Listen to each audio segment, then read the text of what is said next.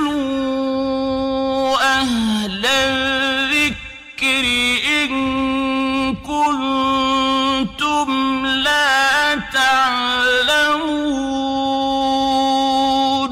ওয়ালাইকুম আসসালাম রহমতুল্লাহ ওবরাকাতু একদিনই ভাই প্রশ্ন করেছেন যে একজন হিন্দু মহিলা ইসলাম গ্রহণ করেছেন তো ওনার নাম চেঞ্জ করে খাদিজা নাম রাখা হয়েছে তো এই নাম চেঞ্জ করার জন্য কি কোনো আকিকা দিতে হবে?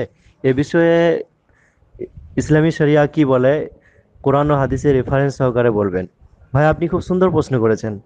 দেখুন, সহি বুখারি, হাদিস নম্বর এক হাজার ছ হাজার একশো বিরানব্বই এবং সেই মুসলিম, হাদিস নম্বর দু হাজার একশো একচল্লিশ। এখানে উল্লেখ আছে যে, বিশ্বনবী সাল্লাহ আলী আসাল্লাম একজন ব্যক্তির, একজন মহিলার নাম বাররা ছিল। তার নাম পরিবর্তন করে তার নাম রাখলেন জাইনাব। কিন্তু এখানে তিনি আকিকা দেওয়ার কথা কিছুই বলেননি। অতএব এই হাদিস থেকে প্রমাণিত যে নাম চেঞ্জ করার জন্য সেই সময় আকিকা দেওয়ার কোনো প্রয়োজন নেই।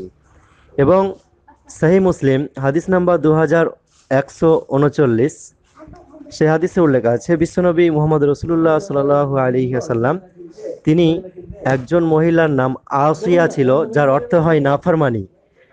নাফরমানকারী মহিলা।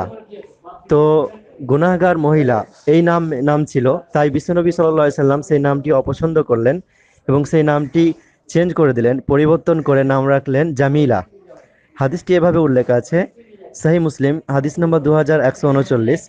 আন্না ইবনাতা ওমার কানাত ইউকালুলাহা আসিয়া যে ওমার উমারের কন্যা, তার নাম ছিল আসিয়া মানে নাফরমান গুনাহগার মহিলা, তো আল্লাহ রসুল সাল্লাহ সাল্লাম তার নাম পরিবর্তন করলেন চেঞ্জ করলেন। তার নাম রাখলেন কি?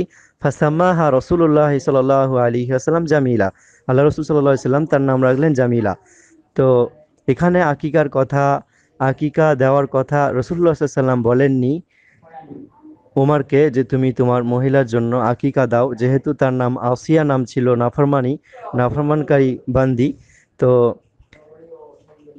তার নাম জামিলা রাখা হলো। এই জন্য আকিকা দাও, এ ধরনের কোনো কথা আল্লাহ রসুল সাল্লাম বলেননি।